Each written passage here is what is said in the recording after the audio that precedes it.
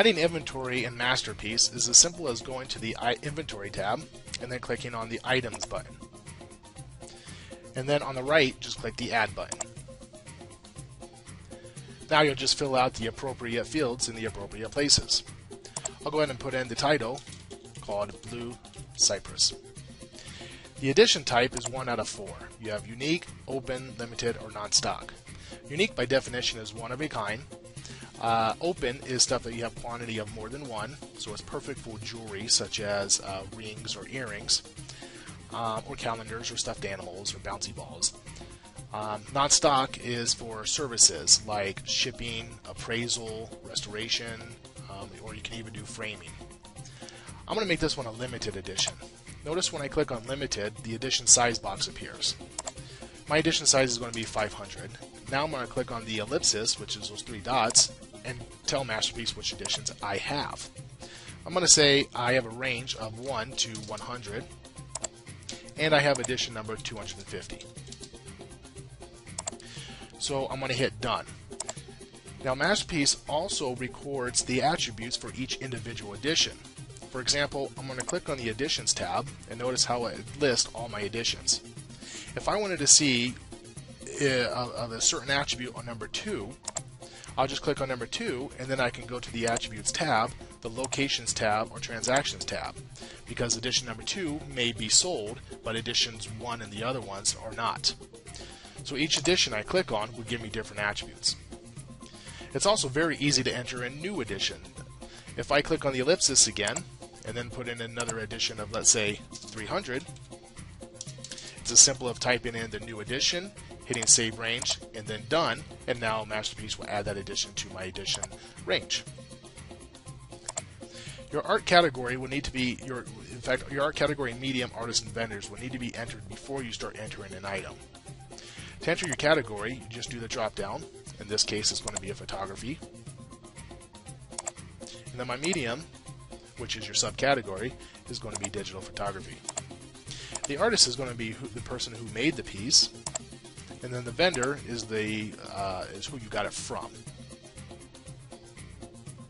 And I'll just do the artist and vendors the same, which may be the case if you're doing consignments. And the circa is um, AKA the year. Moving to the top right, you have your show cost box. Let's say a customer walks in and you have Masterpiece open on your computer screen. Well, you don't want the cost or the consignment percentage or the vendor shown. So if it's safe, then you can have the show cost box checked, but if it's not, then you might want to set the default to uncheck show cost so those uh, fields are hidden. The subject field is a combo box uh, it's a it's a combination of a standard drop-down list and an editable text box. This allows you to enter a value that isn't in the drop-down. So every time you enter in a new subject, it will go into the drop-down. But in this case, my subject is not in the drop-down. So I'll just go ahead and type it in. Taxable would be checked by uh, default, but you can always uncheck it. Um, this just ensures that tax is calculated during a transaction. And our code is the code by the artist or the vendor. So if you're doing a consignment report, you can print off a list of all the things that you've sold of that certain artist or vendor, and it will print off the titles and price and the other information you want along with their code. Um, it just helps the vendor keep organized. The scan code will be automatically generated when you hit the save button, and you can edit the scan code to whatever you want. Quantity on hand. Um, this is good for uh, just seeing how much, how many items that you have on hand. Um, when you sell one, obviously this quantity on hand will go down. Uh, it's good for open items too, that you have more than one. And of course, unique items will um, always have one, so it will not be editable. And non-stock will not have a, uh, a quantity on hand. A reorder quantity is like a threshold.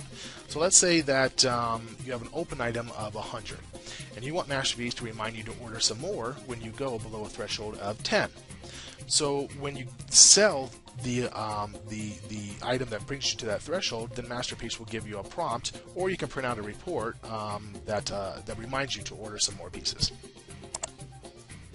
In the lower left, you have your purchase order number. Masterpiece will automatically assign you a number when you save this. You could go to that purchase order number that it gives you and print out a purchase order to give to the vendor. Then you have your cost and your price. Let's say that this blue cypress is on consignment for 50%. I'm going to put in a cost of $1,000 and I'm going to sell it for $2,000. Masterpiece automatically calculates 50% of $1,000 and just gave me the number 2000 You can also change it to 40% and Masterpiece will update the cost for you. So this is saying that this piece is selling for $2,000. When it sells, the vendor, David Wallace, will get $1,000 of it. The quantity is 102, and because this is a limited edition, it's automatically populated. But if you have an open item, you'll want to manually put in the quantity.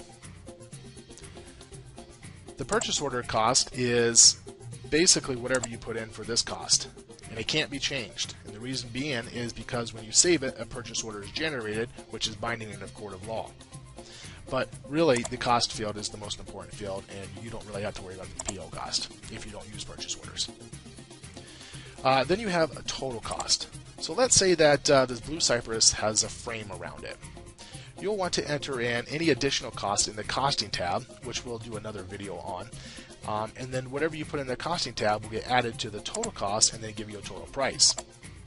This is the only industry that I know of where you can only partially own an item. So let's say that the blue cypress is on consignment, but the frame around it you own. So when you sell the piece, you want to get the full profit for the frame, but the vendor gets the uh, the consignment for the item itself. Lot received just defaults to today's date and time, but you could always manually change that to the date that it was entered if you need to backdate that. Um, appraisal is just the amount that the uh, item appraises for. Then below that you have your dimensions. You have your art height, your art width, your frame width, or frame height and frame width. If it's a 3D piece, such as a sculpture, you'll check the box and notice how it changes to art depth and art weight.